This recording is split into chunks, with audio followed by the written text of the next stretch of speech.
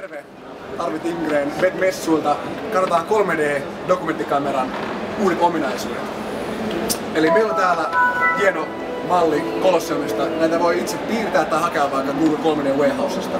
Uusina ominaisuuksina nyt voidaan mennä hypätä suoraan sisään tähän hienoon maailmaan. Eli tästä päästään hyppäämään keskelle Colosseumia ja nyt tätä voidaan liikutella taululla, kosketuksella ja myös sitten navigoida itseämme sinne, sinne sisään. Eli täällä on hallintapaneeli, joilla voidaan liikkua ja tarkastella eri puolia tästä rakennuksesta.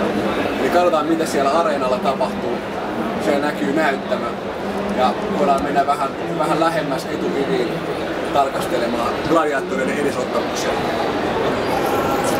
Täältä päästään takaisin ulos ja toinen uusi ominaisuus on, on labelin lisääminen tänne, eli, eli nimilapu.